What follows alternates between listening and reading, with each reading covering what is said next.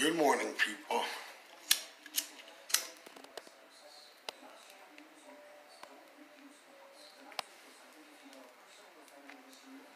Well, now it's a good morning.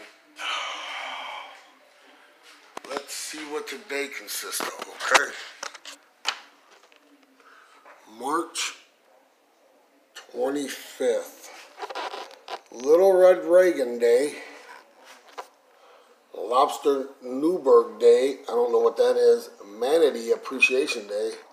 Medal of Honor and Tolkienian Reading Day. I have no idea what that is.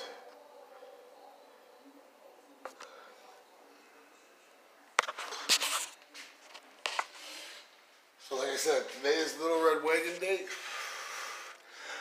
Anyone who got the Little Red Wagon, pull their kids or grandkids around today. Show some love. Lobster Newburgh Day. I don't know what that is. Lobster from Newburgh? I don't know.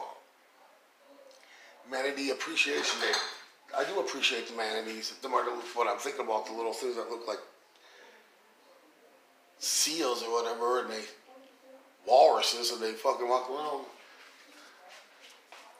They go underwater, like a, you know, so whatever. And Medal of Honor Day, everybody who has a Medal of Honor, thank you, thank you, thank you, thank you.